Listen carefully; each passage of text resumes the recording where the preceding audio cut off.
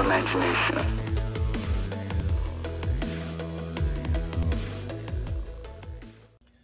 So who wants to take the plunge? So for right now, we're going to install the plunger. So this is a plunger. You can see a spring. This is like a regular plunger from a regular pinball machine.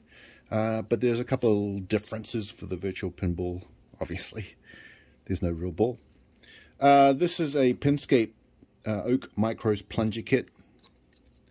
This is uh, this sort of takes the physical location of a plunger and converts it to a virtual placement of the plunger. So uh, it's quite simple. This is going to be a relatively quick install. Uh, I've got the Pinscape board because I just want to show you real quick. The, in terms of wiring, again, there's three inputs. There's a 3.3 volt. I think in another video I mentioned this is not powered, but there is obviously a little bit of power going in there. 3.3 volt, a ground, and a wiper. And a wiper, I believe, does the, you know, the position, the position of the plunger. And then uh, you can see very small. I don't like the small.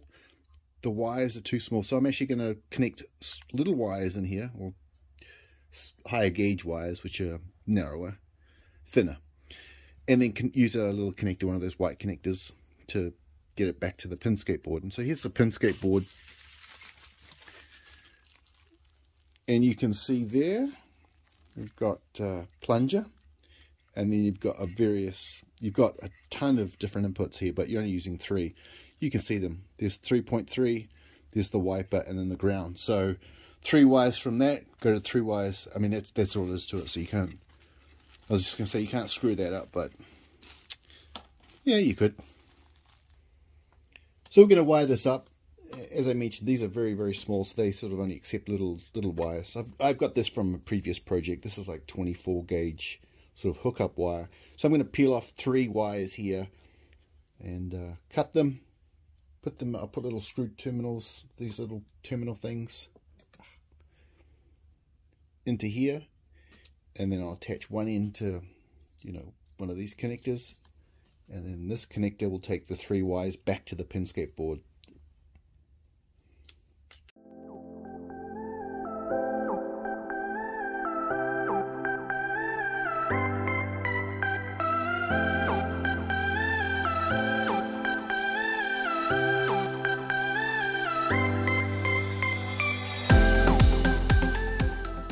So I've screwed those in. You can see how small and fine. Ooh, you're fine. Uh, I just don't like the dangling there because it's there's so little. So I'm just going to put some tape, some insole tape, just to pin that down, just so there's not a lot of pressure in there.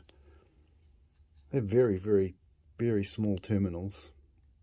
I mean, I won't get a lot of movement, but just even the gravity of holding these wires can cause some pressure on the wires. And the wires can break. You know, they're very, very thin wires. So let me put some tape on.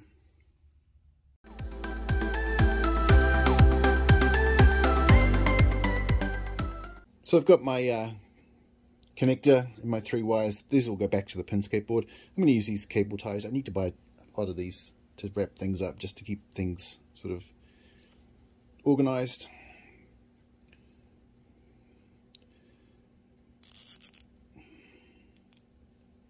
Just want to quickly go through sort of the mechanics of how this plunger works, uh, this kit. It came with a spring uh, because you don't need the, the sort of regular spring that comes with it. It's a lot more tension because you're, you're obviously not pushing a ball, uh, but you do need a spring. Uh, so this came with the kit. There's a, a mounting block. So this goes in the back, you know, in the front of the pinball machine, there's the mounting block.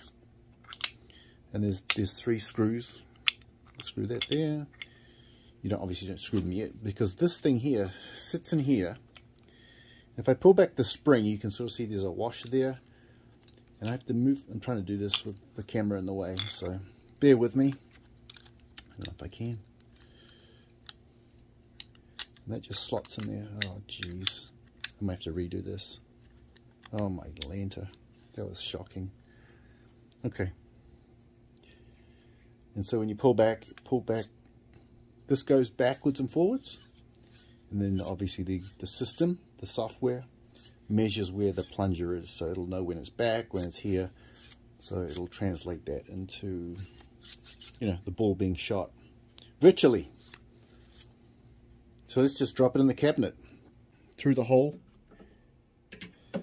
As you can see, I'm really close to these flippers. I'm going to take the flipper mechanism out, put them back in, because there's not a lot of room. I did a dry run. I've been, to, you know, throughout.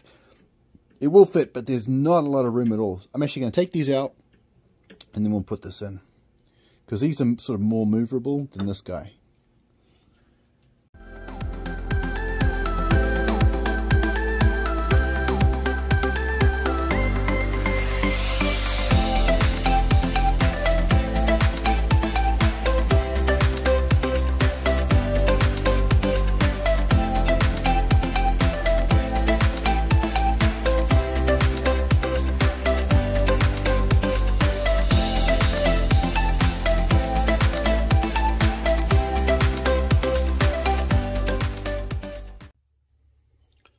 Three mounting screws. So I've got the bracket in there. It's all connected. It's not connected, but it's installed, I mean. So we're going to drop these in.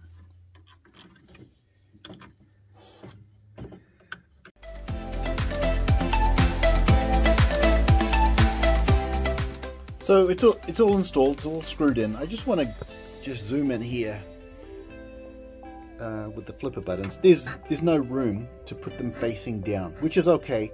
Uh, so they're actually the leaf switches I'm going to have to put facing up. I do know that will work. So I'm actually holding the camera. Normally it's on a tripod. So I'll put these in, they'll be facing up, they'll be covered. So you will not see them and they'll be out of the way.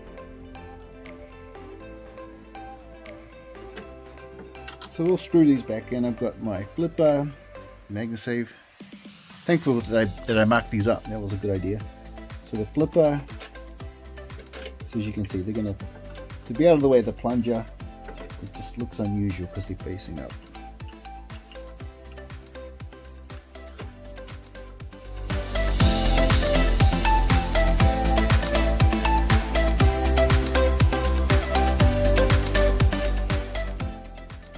So there we go, flippers are installed, I tightened them as best I could. You know, they, they might work themselves loose, but I got enough room.